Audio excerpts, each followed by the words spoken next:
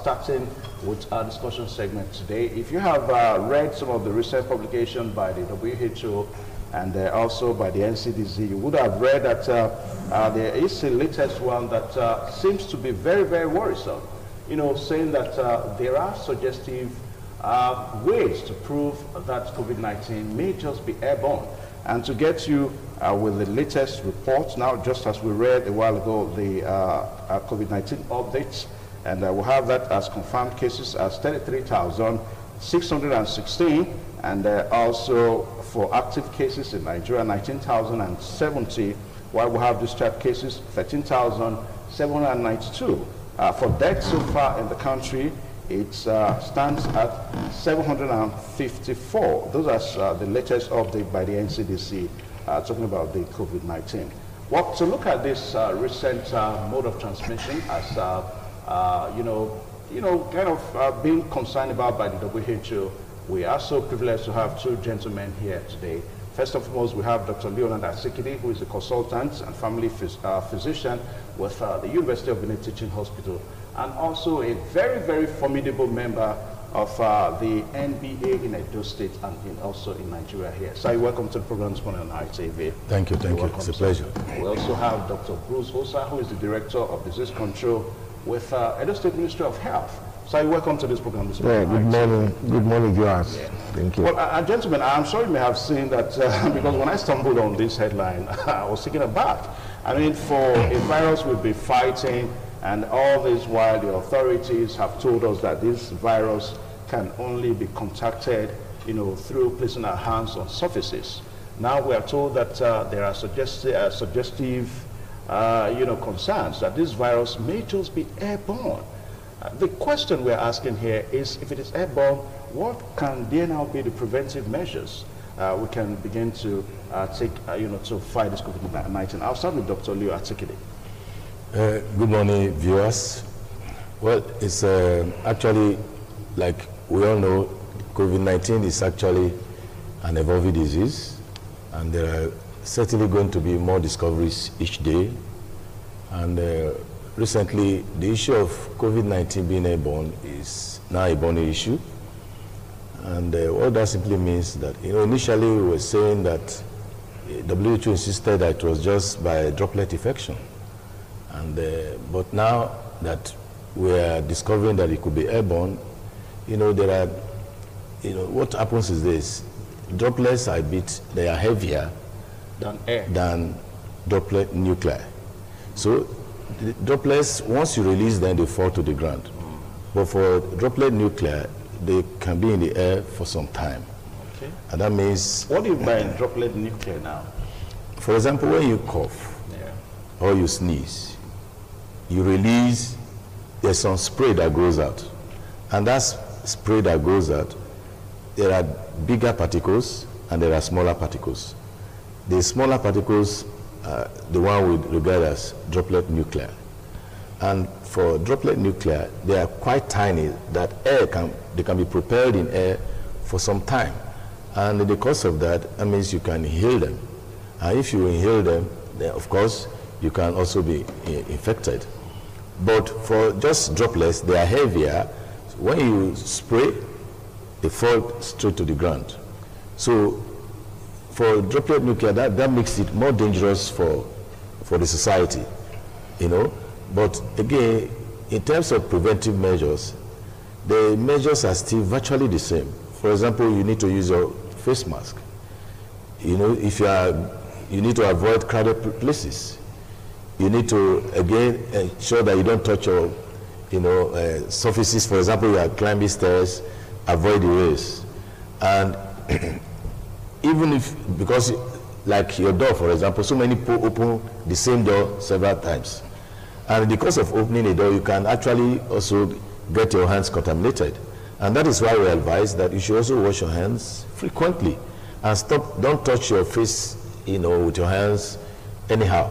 Because if you do, you may also be transmitting this uh, virus, you know, to yourself. So that, because it, it actually, you know, uh, infection actually goes down through your mucosal surfaces. That's your eyes, your mouth, you know. So we advise that, yes, you must keep wearing your face mask. Once, whether you're in a bus, you are, you know, outside your house. Once you're outside your house, get your face mask. Now, the kind of uh, face mask we use is also uh, one major thing that people have expressed concern about. I mean, you are telling us uh, that uh, the COVID-19 virus is, uh, is nuclear uh, droplets, is nuclear droplets. In other words, you may not be able to see it with the, with the ordinary eye because of the tiny particles. Now, you have series of various types of fixed masks around. Do you think those fixed masks can actually prevent COVID-19? If we're talking about a very tiny uh, particle of uh, virus. Well, from uh, what WHO has done, they talk about N95 uh, face mask. But again, you discover that that is not actually within the reach of the common man. And outside that... How do you mean that it's expensive it's or expensive. it's available? It's expensive. Okay, N95? Yes, uh, it's expensive. Okay. But again, you have the other simple mask that used to be very cheap, but people capitalize on it and they have increased the price also. The normal surgical mask. But again, people have also devised other means, like we see different kinds of masks here and there now. With the one they sew with clothes um, and all this kind of. There are some. There are also some other masks that are actually very friable. Some even use a hanky, the handkerchief to do face mask. But there's some level of protection with any of those face masks. But for effectiveness, one cannot really guarantee that they are as effective as the N95, which is the most effective one that has been. Okay. Yes. Well, let me come to uh, Dr. Bruce Osa now. Yeah. Now, uh, Doctor, I'm going to be asking you what you guys are doing in the Ministry of Health, and I also, uh, I also wanted to, uh, uh, you know, react to recent allegations, so to say now, that uh, no testing going on anymore in those states and all that. Now, we're talking about suggestive evidence here that uh, the COVID-19 is airborne. What are your concerns? Yes, thank you very much. Uh, as my friend rightly said, the disease is an evolving disease and many studies have been carried out. As at yesterday, uh, WHO website, they talked about uh, that studies are being carried out now know whether it is airborne. Not that it's really airborne. They are carrying out studies to know whether it is airborne. Yeah, but they say uh, suggestive evidence. Yes.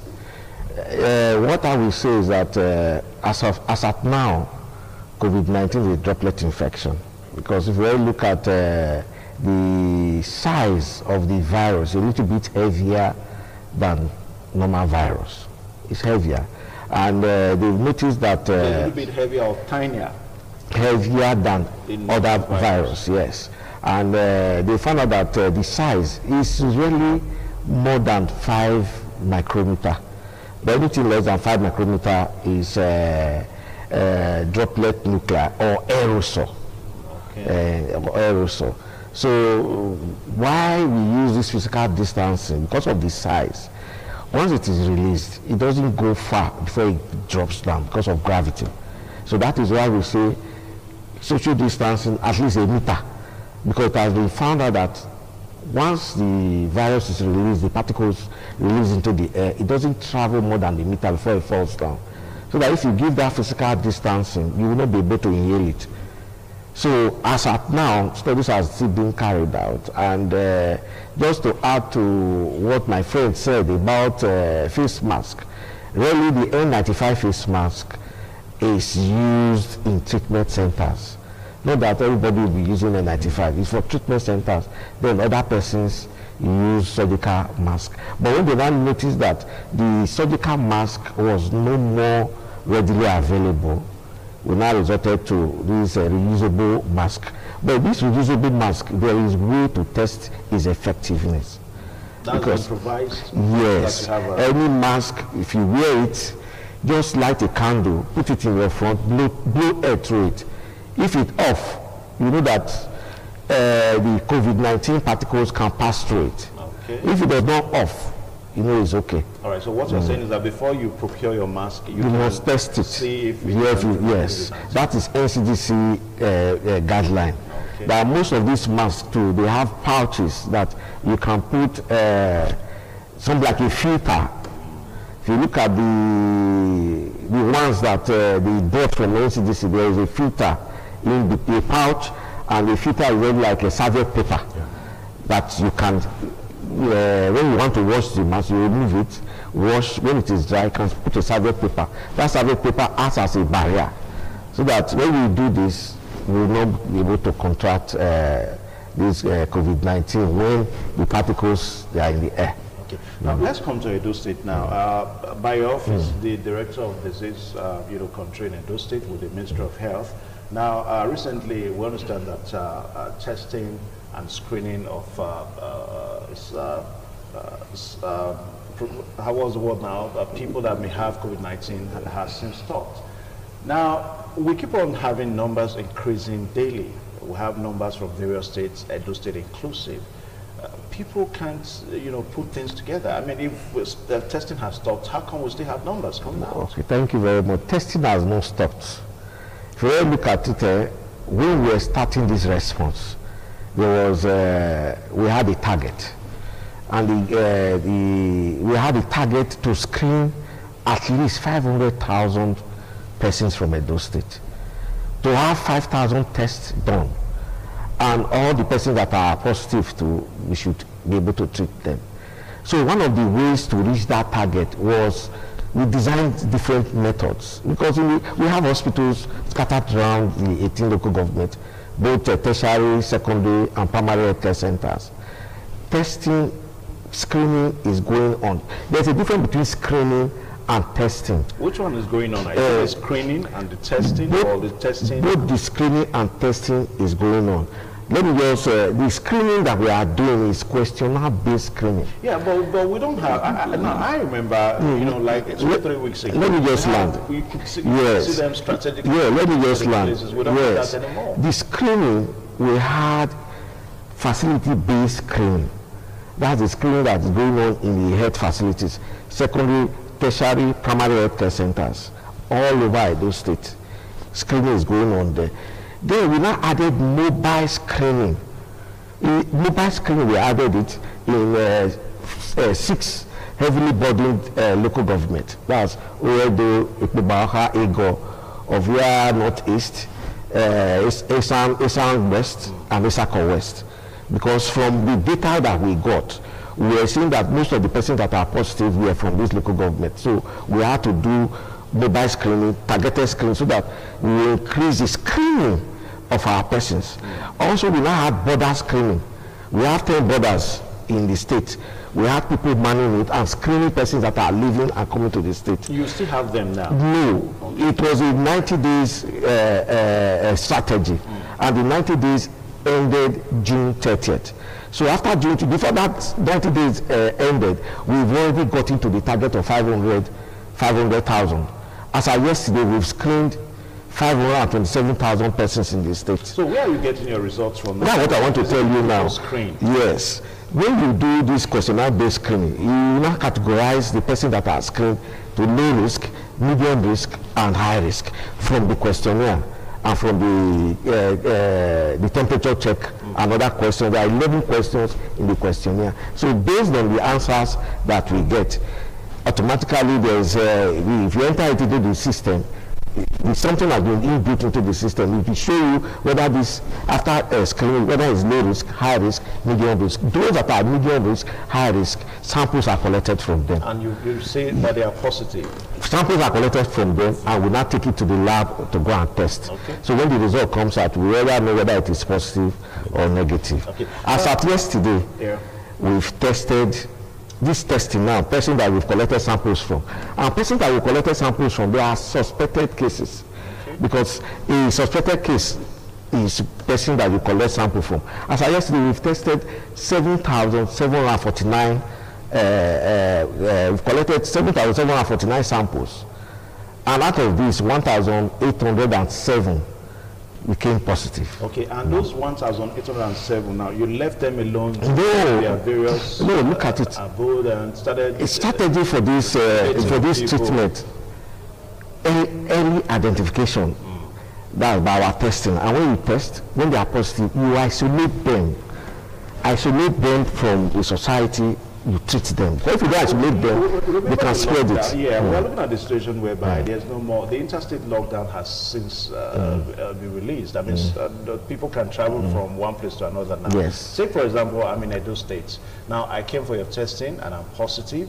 Then, of course, I left. I leave Benin City. I go to Lagos. How will you? Uh, Yes, when, we, we, we are collecting your sample, there's what we call case identification form that we fill, contains your biodata.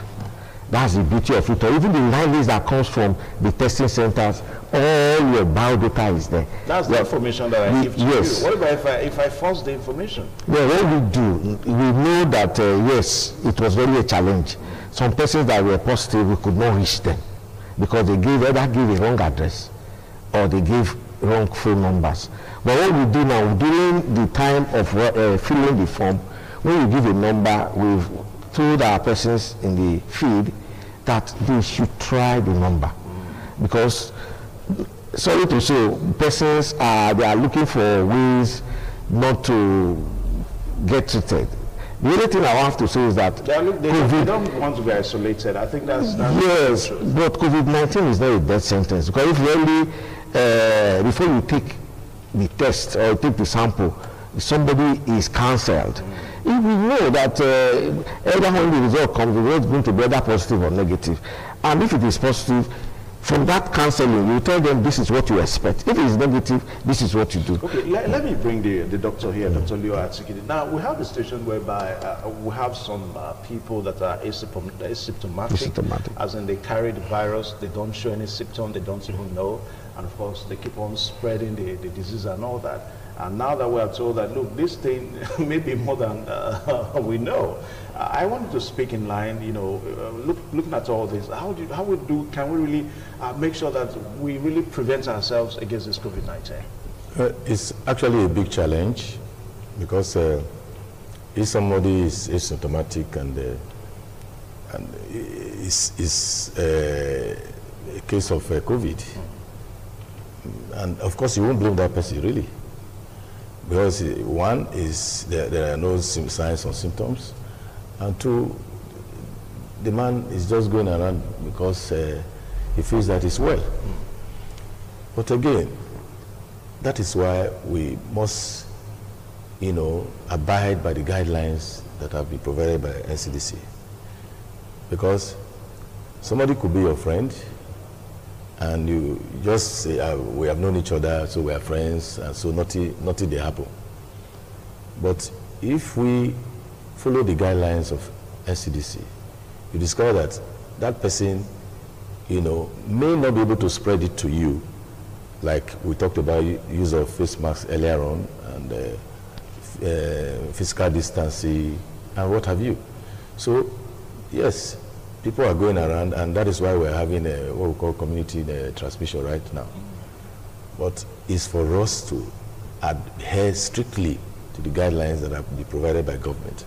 And if we do, I think they we will certainly minimize the effect of uh, COVID-19 and its spread. But if we just begin to live, uh, you know, uh, nonchalant or give a, you know, nonchalant attitude to the whole to the whole issue, we discover that we might be at, a serious risk. You know, there are some places I've been to recently where they are conducting burials, and you just see that it's like those who have never heard of COVID-19. Everybody is associating the same usual way, dancing, and all those. So, again, we also need to continue to emphasize our, you know, enlightenment, because people, especially if you go to rural uh, areas, you discover that those people just believe that there's nothing like, they will tell you straight away that there's nothing like COVID-19 and that it doesn't even exist here. So we need to continue to let the people know that this disease is here with us and we must adapt our lifestyle to suit guidelines that will be provided by NCDC and by various state governments. All right, uh, uh, Dr. Uh, Dr. Leonard talked about uh, community transfer, and there's no doubt that that's the stage that we're in now. What I remember when the president was going to release the lockdown, now there was an understanding that um, uh, efforts were going to be intensified to make sure that uh, even when people have to leave from one community to another, uh, the mode of transmission will not be that easy. But the way it is now, I mean, uh, if you go to uh, the boundaries, uh, take for example Edo State, you just find some policemen that's good enough, they wear their, they have their fixed masks, but they don't test, they don't have testing kit, they don't even have an ordinary infrared thermometer to check somebody's temperature and to see whether the, this person is liable to having COVID-19 and all that. Now, as the uh, uh, director of disease control in Edo State, what are you doing? What is the ministry doing in this regard? No, we, we that's what I spoke on earlier on. Mm one of our strategies was this border screen, border post screen. We had posts in all the borders entering Edo State and people coming out from Edo State. After 90 days, we've noticed that the persons that we are screening, most of them were even low risk. Most of them. And not only that, after 90 days, it was a strategy for us to get to that 500,000. Since we've gotten there now, and uh, you know, Edo State is not in isolation. The whole country now, you can move from state to state. The only thing is that what we should be preaching is the preventive measures because you can be in Edo State, you can be in Lagos State, it's the same preventive measures. Try physical distancing. Always uh, wear face masks when you are outside your house. Because face masks, really, persons that are asymptomatic, you don't even know. Persons that are even symptomatic, you don't know whether it is COVID, not until you, you test. So prevention is always better than cure. When we take all these preventive measures uh, uh, in our hearts, you see this community spread will stop. But if you go out now, you see that most persons, when you even do the, the, the right thing, they will be looking at you as an outcast. You understand? Go to markets, you are even telling them, wear your face mask. They are not, we, they even be looking at you as somebody that is uh, not normal. The only thing I will just uh, say is that enforcement, law enforcement agencies, they should be out to help to drive government directives. Because government already come out to say, okay, do this, do this, do this, do this. You will not, uh, you hardly get COVID-19. But persons are not doing it. So what we should be preaching now, behavioral change. I know it doesn't come in one day. Let us wear our face mask when we are going out let us not shake our hands. There is a way we shake now, either you use your leg or use your elbow. We should do that. Avoid places that are overcrowded. Even in the church, there are even some churches that even don't even uh, do what government says they should be doing. Because the directives that uh, really release uh, church services now, 200, at least people should be spaced out in the in the church. But there are some churches enforcing that. Yeah, no, yes. I mean, uh, the, when churches were asked yeah. to go back, we understand that the directive was that uh, from zero to 15 years are not supposed to be in church. Yes. Then from 60 uh, years and above. 60 years, 55 years and above, above. supposed to be in church yes. right now. But is your ministry mm. enforcing that? Because if you go to churches, there are evidence to prove that the young people still go to, to churches. Yeah, ministry, uh, two weeks ago, or even just last week, we sensitized the whole of CAN, Christian Association of Nigeria. The uh, delegates came from all over the state. We had more than 300 persons in their hall, but the sitting arrangement, we, we observed the physical distancing because the hall they even used was ground floor and the second floor. And all the persons, the leadership of uh, our churches, we spoke with them and we told them this is what government, they already have the directives, but we just won't call them to go and enforce what directives that the government has given. That's the question. Uh, and the enforcement really, enforcement really is a security outfit that do the enforcement. Every, what we do, there are numbers. Once we notice that any church is uh, not really doing what they are supposed to do, call that number because in the response there is a security pillar. It is multi-disciplinary uh, uh, approach that we are using for this response. There is a pillar, core pillar, security pillar. The CSO to the government is the head of that pillar, and all the security agencies are part of that pillar. So what we do when we see that persons are not conforming to government directives, we are aware, we call them they now go there to go and enforce. So that is how it operates. So churches that are not uh, uh, really uh, carrying out uh, government directives, if we are aware, we just a phone call, we direct it to the security pillar so that they go there and go and do what they are supposed to do. Okay. Now. Dr. Leona Asikide, if you go through uh, the, the, the public, the popular parlance now, the local parlance, I should say, you hear people say that, look, if you have malaria now, don't even bother to go to the hospital because if you do, it may be a case of COVID-19. I wanted to talk in this direction because people are not going for treatment anymore. They rather just attend to themselves at home at the expense of their lives. Doctor. You see, uh, we, this is one of the major problems we actually have. I've even met close relatives, friends, who have the same view that there's no need going to the hospital when you're sick because they are going to tell you that it's COVID. COVID. And when you get there, they are going to arrest you. But again, you see, as far as I'm concerned, whether it is going to quarantine you. Yeah, yes. Yeah. As far as I'm concerned, life has no duplicate. And let's say you go to the hospital and they say it's COVID. It's not a death sentence. That gives you an opportunity for you to be attended to or treated so that you get well and go back to your normal uh, business. So it doesn't, it doesn't mean that every case that comes to the hospital is COVID. After all, we work in a very busy hospital and we see just a few cases, a few cases you know, compared to the population of people we see every day. And in the, in the whole week, like in our clinic, you may not even, you may just see maybe one or two persons who are, you know, suspected uh, cases. So, and oftentimes you do the testing and it's, it's uh, negative. So, what we need to understand is that, like my friend uh, said earlier on, prevention is actually better than cure. Because the earlier you are detected and attended to, the better for you. So if you are sick, please, hospital still remains the best place for you to go to. And because if you stay at home, you may just be, you know, play with your own life. Okay. All right, gentlemen. And uh, as we wrap up the segment now, uh, Dr. Bruce, uh, you, you, we're still saying that uh, now investigations are still going on by the NCDC and the WHO. That's what you said. Yes. That uh, it, it cannot be airborne. Is that what you're saying?